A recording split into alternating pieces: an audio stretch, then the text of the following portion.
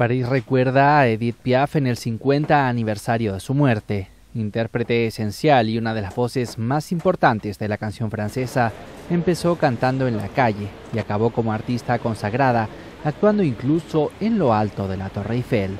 A medio siglo de su partida, la Ciudad de la Luz le rinde homenaje con un festival que hasta el domingo contará con conciertos en los bares y en las calles en las que vivió.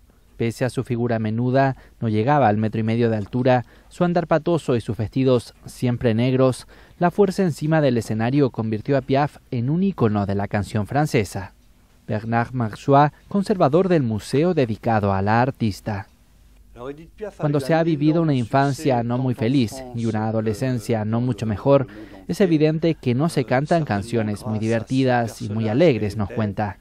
Entonces ella decidió cantar al amor, a los amores felices e infelices, pero era sobre todo su vida lo que cantaba. Pese al éxito, su vida no dejó de ser tumultuosa e intensa. Tras la muerte de su primer marido en un accidente de avión, la cantante se dejó llevar por la fatalidad, abusando del alcohol y la morfina. Edith Piaf murió a los 47 años a causa de un fallo hepático, pero la muerte no puso fin a su leyenda. Sus discos se siguen vendiendo y en su tumba del parisino cementerio Père Lachaise siempre hay flores frescas que la recuerdan.